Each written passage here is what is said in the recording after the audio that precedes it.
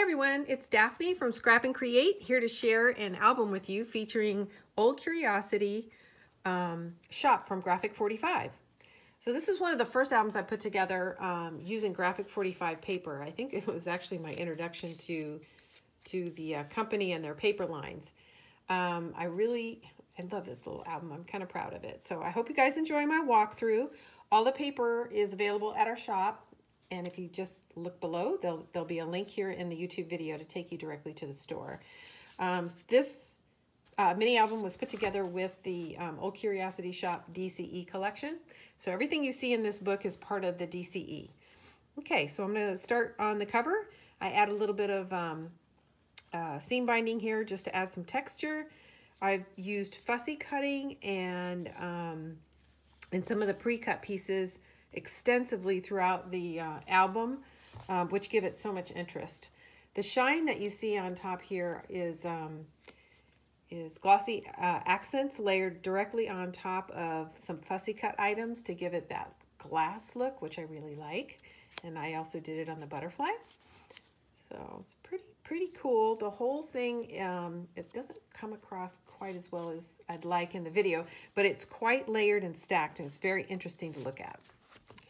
So inside the first page, um, you'll see a piece of ephemera, which is part of the collection, and we've added um, these filigree pieces, which are available in our shop as well. I just think they go great with anything that's kind of steampunk or this very antique looking um, paper. Nice, simple, flat page. The whole album is um, is actually one of Graphic 45 staples. It's a pre-made mini album, so that made this go together really quickly. I just had to layer my um, color choices and pattern choices right on top of their pre-existing book. This album um, was also featured in a previous video um, where I walked through the um, Nature Sketchbook. So it's the same uh, album, obviously different paper. Um, fussy cut some uh, moths here to add some interest. Here's another simple fussy cut of a word that was part of the package. Another word in butterfly. Here is um, a pre-cut uh, element from the cut apart page. This is kind of interesting. It's very steampunkish to me, um, but I, I really like it. It took me a while to figure out what it was, but it's basically looks like an owl to me, but the eyeballs are made out of sunflowers. One of my favorite pages just because the color is so, so rich. So again, it's very uh, similar to the book that I had done a walkthrough on Nature Sketchbook. So it has a flat panel a, a pocket and that is encased in another flat panel and that kind of makes up the first register in the book. And there's six of these so there is a ton of space for photos. Um, here is another uh, cut apart uh, that I layered in here. Lots of uh, elements like this to use throughout. And then a piece of filigree up here at the top which I really like. This is a um, fussy cut butterfly with uh, a nice layered um, cut apart Love these, love these colors. Uh, another cut apart, interesting paper. Um, over here, I've got that pocket. This is a, um, a popped up uh, element. So it, it, sits on top. It, it doesn't uh, open, but it just sits on top and gives it some texture. A nice photo mat or journaling card. And then I got When Pigs Fly. So this piece is a part of the ephemera packet, and then I just went ahead and fussy cut it to have a little slide here, just because it made it a little more interesting. And then behind it is a pocket. To fussy cut butterflies, I spent a lot of time fussy cutting butterflies. This package comes with two 12 by 12 pa uh, pages of various size butterflies, so there's a lot to work with. Um, this is a uh, one of the die cut pieces so I really liked it and then I wanted to make it a little more interesting. So I went and cut around the edges of each one of the butterflies, leaving the body intact and then put pop dots behind it. So you get this kind of layered um, look and that the butterfly wings always look like they're slightly elevated. So it's pretty interesting. This is a, a belly band basically, so you can slide something in there. And then over here I added um, just a inset a small little journaling page. And this is just a black seam binding that I used to, uh, to close it. A nice mat, another fussy cut butterfly. I love the butterflies, they're everywhere. And this, um, this dragonfly is one of my favorites as well.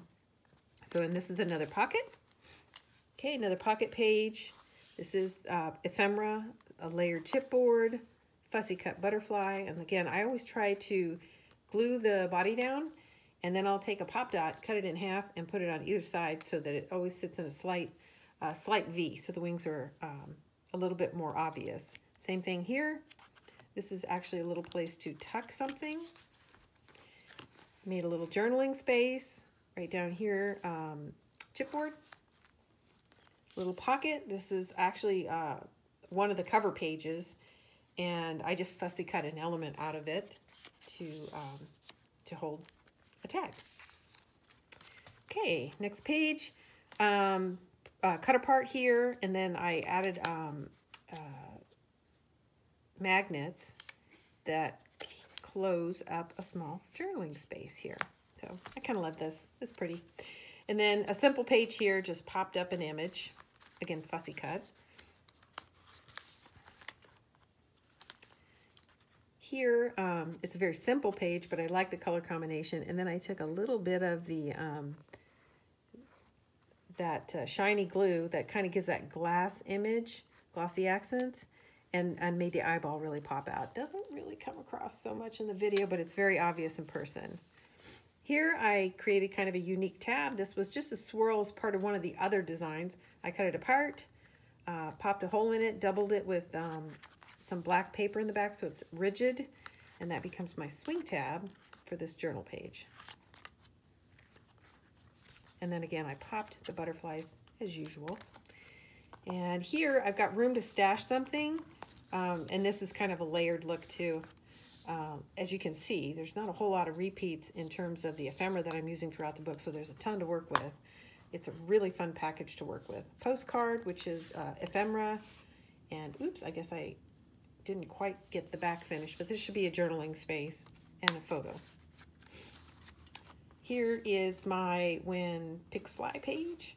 Um, this green is so pretty. I don't think I had enough to go around. I would have used more if I had it. And this is just layered here, and then there's room for a pocket or a, a tag. Okay, another uh, pre-cut ephemera postcard. Um, and this is just a sticker that I've layered right on top. This is a sticker and this is a sticker, which are nice. The, the texture is slightly smoother um, and I really liked them. This is um, one of the uh, pre-cut um, or die-cut uh, pieces and to give it a little more interest I went in with the glossy accents, covered each one of the eggs to give it a dimension as well as some shine. Dimension and shine over here, same thing, glossy accents. And I topped the whole thing off with a piece of filigree.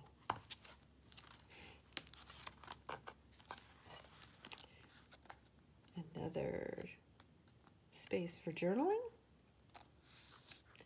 And then here's a pocket. There's that lovely paisley. I love it so much. Um, another uh, use of glossy accents here down on the eyeballs. I just love the way that makes the uh, glasses actually look like there's a lens in them. And then here is a beautiful popped uh, pre-cut apart um, that comes in the die cut page, which is just lovely. Um, I left the whole thing intact, but if I was using this um, and was uh, putting photos in it, I'd be very tempted to cut my photo down to this size and then use this as the frame. And they've done that with several of the um, the die cuts and, and cut aparts, easy to just lay your photo right over this. So here's a placeholder. When you're ready to put a photo in, you lay it right on top. Another um, ephemera cut apart. And lastly, this beautiful uh, butterfly, and that is the back. And then, as you can see, I um, also did a spine cover, and then um, this is one of the uh, the cut aparts which was a little difficult, but if you uh, cut it just right and then you spend a little time wiggling it, you can slip it right in there. Um, beautiful Graphic 45 Old Curiosity Shop. Again, like I said, this is one of the first albums I made. In fact, I think it was the introduction to Graphic 45. Uh, first time I'd used their paper. So this was a ton of fun to put together, especially if you're a detail person. There's so many little elements to work with. So I hope you enjoyed this walkthrough.